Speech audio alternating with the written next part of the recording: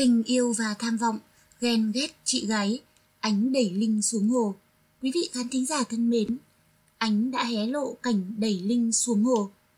Để tỉnh táo quay phim Tình yêu và tham vọng, Thùy Anh cho biết cô phải uống đến 3 lon bia. Thùy Anh tiếp tục có mặt trên phim trường Tình yêu và tham vọng cùng Diễm My 9X và Minh Huyền để hoàn thành nốt những cảnh quay trong bộ phim đang gây sốt trên sóng VTV3. Tình yêu và tham vọng đến nay đã bấm máy suốt gần một năm. Thùy Anh cho biết đây là phim có thời gian quay lâu nhất từ trước đến nay của tôi. Để giữ cảm xúc không bị gián đoạn, tôi gần như phải sống với tính cách và con người thật của nhân vật suốt thời gian qua. Trong phim, Thùy Anh vào vai anh em gái của Linh, Diễm My 9X thủ vai. Với tính cách đanh đá, có cả xảo quyệt tính toán. Từ những tập đầu tiên lên sóng, Ánh là nhân vật tạo nên điểm nhấn và kịch tính trong phim. Cũng vì tính cách xấu xa của Ánh mà nhân vật này bị khán giả truyền hình ném đá không ít. Hậu trường thực hiện có nhiều kỷ niệm đáng nhớ, mới nhất Thùy Anh cho biết phải đóng cảnh đông giữa mùa hè nắng nóng 40 độ. Cảnh quay đáng lẽ sẽ được thực hiện từ trước đó nhưng do giãn đoạn khoảng thời gian nghỉ chống Covid-19 đến nay, đoàn phim mới sắp xếp quay được.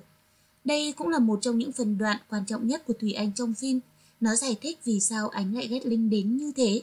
Tại đây cô còn có cảnh đẩy Linh té ngã xuống nước.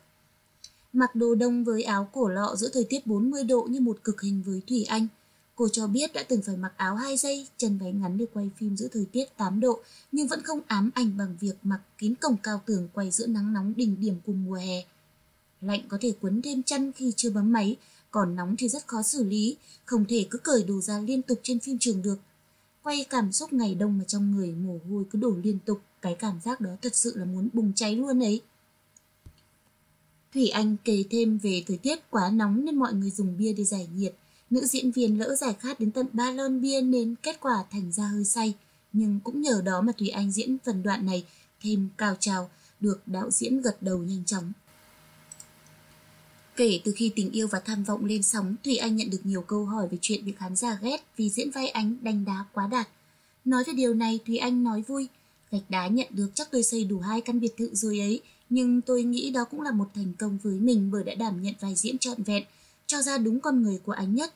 Tôi cũng mong muốn khán giả sẽ có cái nhìn khách quan giữa phim và đời thực để không ghét Thùy Anh như ghét ánh.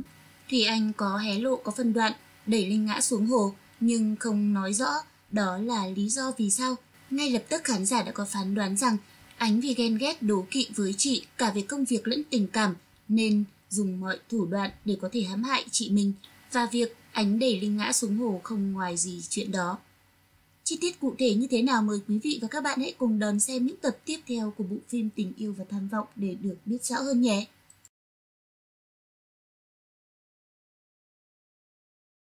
Cảm ơn quý vị và các bạn đã quan tâm theo dõi.